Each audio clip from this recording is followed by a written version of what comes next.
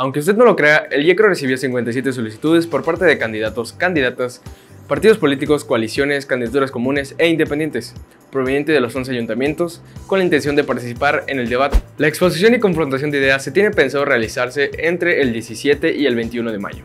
Ojalá y sea un real debate electoral, donde los candidatos se confronten ideológicamente en igualdad de condiciones, exponiendo sus propuestas eventuales de gobierno así como también su postura frente a diversos temas controversiales de interés estatal.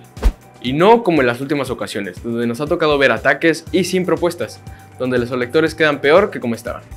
El sistema quintanarroense de comunicación social será el medio de comunicación oficial donde se estarán transmitiendo los debates. Estos podrían darse en la modalidad presencial o en su caso en vía digital. Para Grupo Contrapunto, Jonathan Estrada. No olviden seguirnos en nuestras redes sociales como Cancún Channel y en nuestra página web www.contrapuntonoticias.com.